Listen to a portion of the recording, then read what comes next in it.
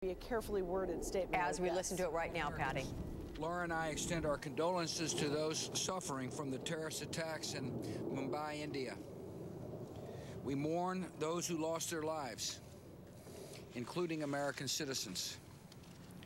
We pray that the injured will recover.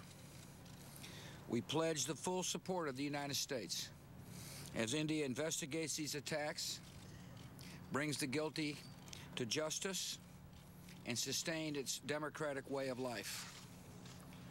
My administration has been monitoring the situation in India closely since the attacks on Wednesday. On Thursday morning, I spoke to Prime Minister Singh from Camp David. I sent our heartfelt condolences to the Prime Minister. This morning, I held a video conference with Secretary Rice, our ambassador to India, our consul general in Mumbai, other national security officials.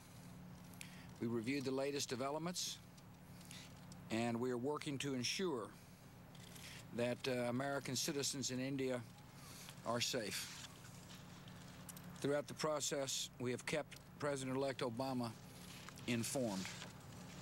The killers who struck this week are brutal and violent, but terror will not have the final word. The people of India are resilient. People of India are strong. They have built a vibrant, multi-ethnic democracy that can withstand this trial. Their financial capital of Mumbai will continue to be the center of commerce and prosperity. The leaders of India can know that nations around the world support them in the face of this assault on human dignity. And as the people of the world's largest democracy recover from these attacks, they can count on the world's oldest democracy to stand by their side. Thank you very much. May God bless the people of India. And there you see the President and First Lady. Uh